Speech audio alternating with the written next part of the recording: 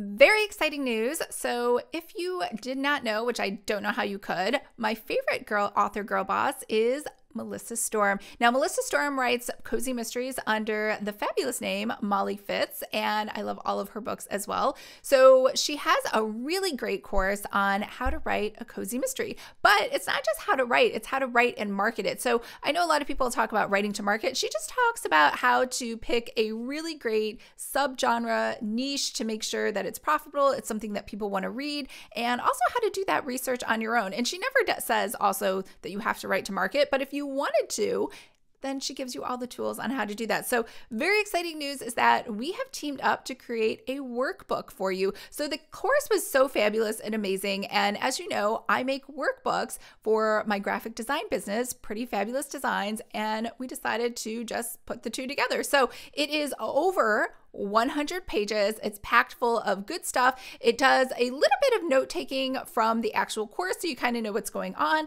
but it also has a ton of blank spaces to answer all of the prompts inside of the course, as well as some extra prompts for you to put some of your own thoughts in there, as well as space to write some notes. So, very excited to talk about that today.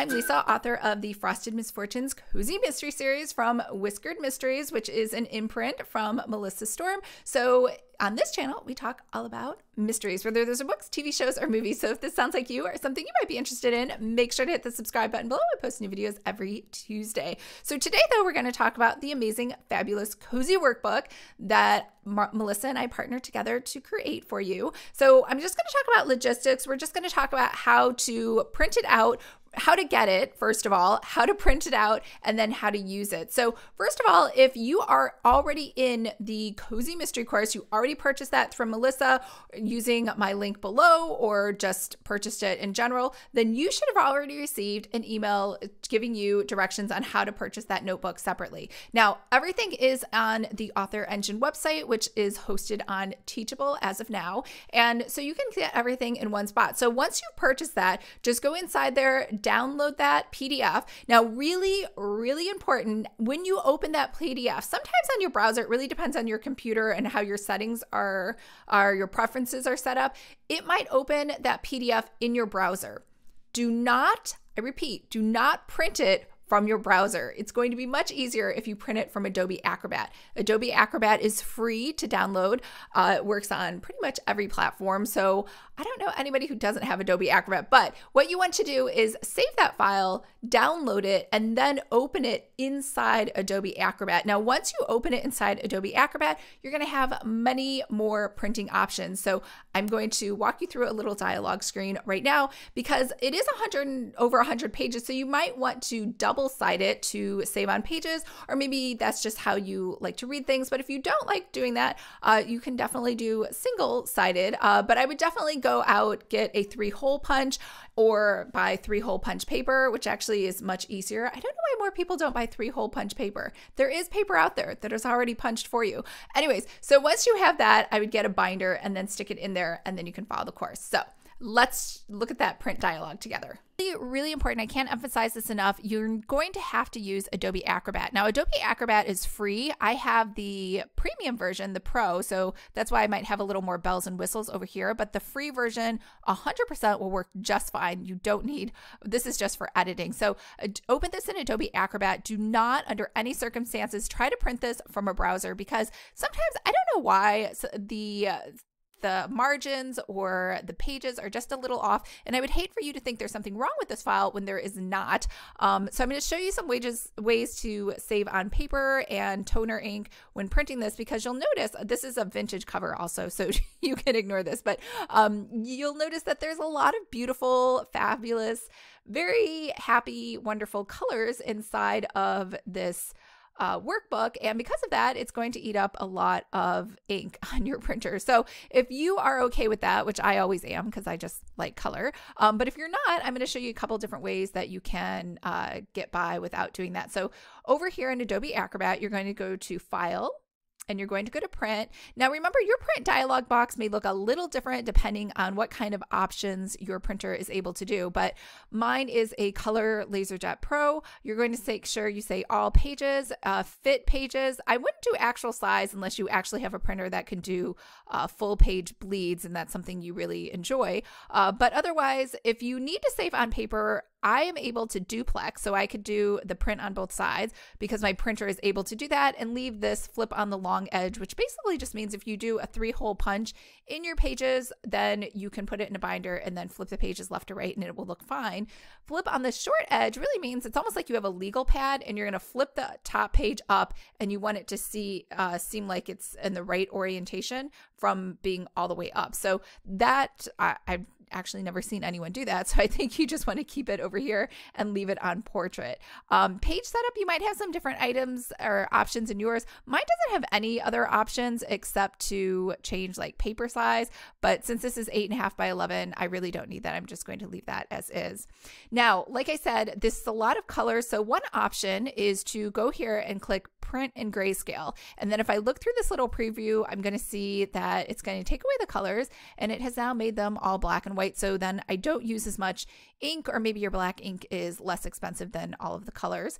Uh, and then over here, another option too is you could do multiples. So even if your printer can't duplex or if it can't duplex and you want to save even more uh, pages, you could do multiple and you could print two pages per sheet.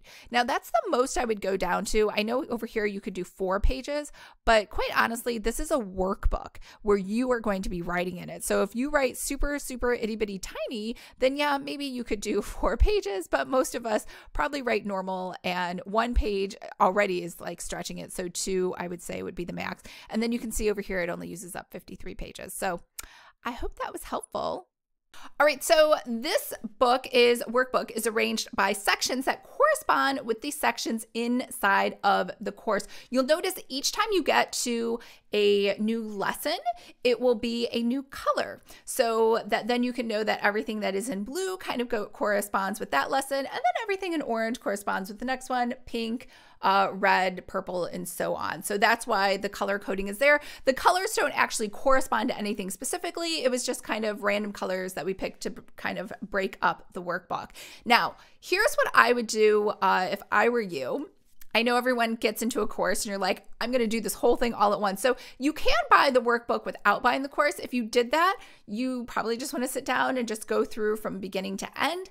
If you purchase the course, which is what I highly recommend because it will give it more context, uh, is that you go through, open up your workbook to the section that corresponds with that particular lesson, look over the questions inside of the workbook that will give you an idea of kind of what's in the lesson. And then as you go through it, you can start filling everything out in that workbook. Now, keep in mind there are extra pages at the end on notes that you can just kind of slide in there so that they fit within um, that same section. So, in case you're like, I don't have enough space to write because everybody's different, then we put some extra pages in there at the end so you can just slide those in anywhere you want inside of that book.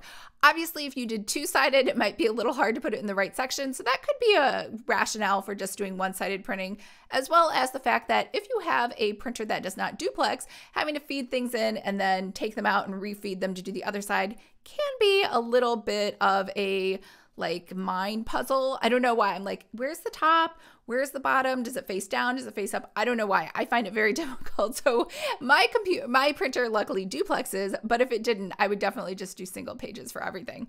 All right. So the other thing is if you are more into the marketing part, so the way the sections are set up, the beginning and the craft part are meant to go in chronological order from beginning to end they're not really meant to skip around just because of the way the information has been presented. The marketing section, though, is very much choose your own adventure. So maybe you are very into Facebook, but you're not, you know what? I am so not into um Instagram or something else that's being talked about in the marketing section, or I want to run BookBub ads, but I don't want to do Facebook ads because I've already outsourced that to somebody else. So you could pick and choose the different sections that you want to go to. Now, keep in mind, a lot of those sections, especially when she talks about her book launches, actually have links inside of there that go to other places inside the course. You will have to be a student in that course to actually reference those things. So, some people who only purchase the workbook, really important to note, you will not have access to those spreadsheets that are part of the course. So, another reason that I say it's highly highly recommended that you buy the course. So the workbook really wasn't meant to, I mean, it can be sold alone, but you know, it really wasn't meant to have all the bells and whistles for the workbook. It's really meant to be an accompaniment for the course. So let's go through uh, if you need so the timing I would try to do one lesson a day, mostly because, especially, you'll find the first few lessons will be so overwhelming. You'll be like, this is so much great information, and now I have to do so much research. I might need a week to do the first lesson, a week to do the second lesson, and then the other ones maybe you can go through in a day. So, that would be my recommendation for timing. Now, all right, if you have not purchased the Cozy Mystery Workbook, why not? I will leave all of that information below as well as information on the course. If you're not sure if that's the right course for you, I do have a separate video that goes through all of the Cozy Mystery courses that are out there. I rank them from best to worst. Spoiler alert, Melissa's is the best. It is number one on the list. Uh, but in case you're like, you know, I have different, everyone has different learning styles, and maybe there's another course out there that I wasn't too into that you're like, that would be the perfect course for me. Definitely check that out. I will leave links to that below as well. All right. I hope everyone's having a fabulous day, and I'll talk to you later. Bye.